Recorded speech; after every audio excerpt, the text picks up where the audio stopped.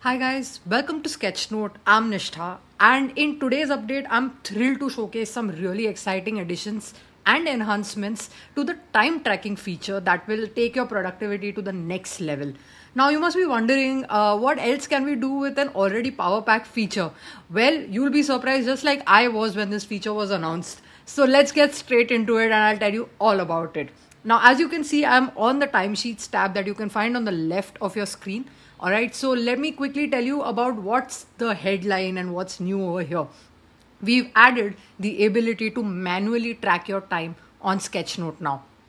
That's right. You can now use the add time log button to actually uh, track time that you may have spent working on tasks, maybe offline, maybe um, you know when there was no internet connection, when where you, where you were on the field and maybe working on site or working at the client's office. You'll now be able to track this time retrospectively and uh, never missing out on any other you know uh, ever missing out on any time that needed to be accounted for and you hadn't because you could not switch on and switch off the timer so let me tell you quickly how this works you need to click on the add time log button all right over here there's a nice pop-up uh, where you can select a task here. Say i'm going to say ask andy to be a co-founder. You can say uh, i need um, one hour and one minute i spent on this task on 3rd april all right? Um, and you can add a small description over here uh, more about that in just a little bit but let me tell you about it. You can add a description over here saying meeting in coffee shop.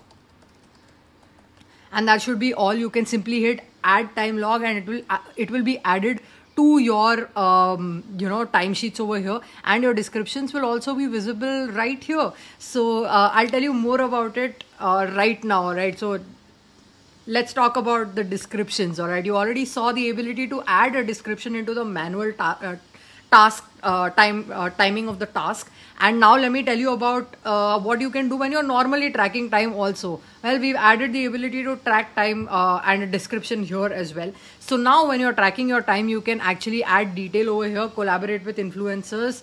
Uh, speaking to Jasrain all right so this is uh, then you can switch on the timer over here after adding your description. And basically you will know when uh, you spend time on what task exactly. Even the smaller breakdown of if you're speaking to 10 influencers which influencer did you track these many minutes on? All of that is now going to be visible. So accountability is a huge thing um, now. Like basically this these descriptions uh, will be a game changer for you to know when you're invoicing, when you're tracking time as a whole, having a discussion with your team about where exactly time goes. And the best part is that all of this information that you're tracking with the description are all exportable so when you actually export your sheet you will be able to see exactly what was spent where exactly and um, raising invoices etc become like an absolute breeze with uh, this description feature. Now, there is also the option of filtering your tasks to be able to see things better. But we already had a filter task, right? So what's new over here? Well, we've added a centralized filter over here, which means that you no longer have to scroll left or right to find the filter for the like respective column that you wanted to, um, you know, clear out and see. For example, if you wanted to see who logged the time, etc., you don't have to go all the way here and then switch on the filter. You can now select the filter over here and basically filter out exactly what you need very very quickly with this one button right over here.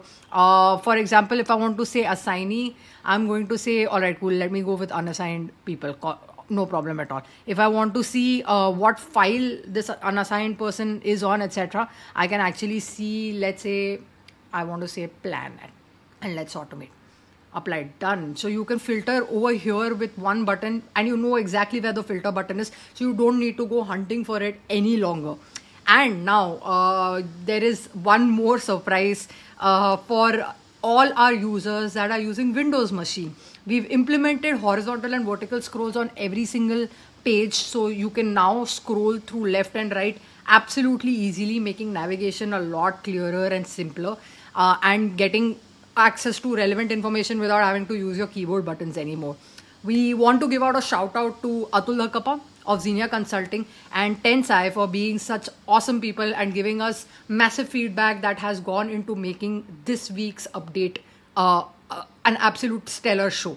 So if you too have suggestions that can help streamline workflow better for your team or any other agency that works on Sketchnotes, please feel free to drop us a mail or a comment uh, and uh, or even send us a pigeon doesn't matter. We will be on top of that and get work done really quickly. So uh, we're happy to look into your suggestions and your comments. Keep them coming. And uh, also when you start using these features we'd love to know what you think about these. So we love feedback on that end also. And that's it for this week. So until next time this is me nishtha signing off. See you later